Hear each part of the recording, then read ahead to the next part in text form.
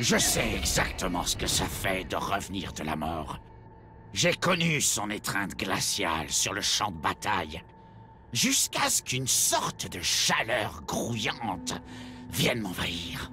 Des milliers de milliers de larves remuantes ont rampé sur moi et à l'intérieur de moi, arrachant la chair morte de mes nombreuses blessures.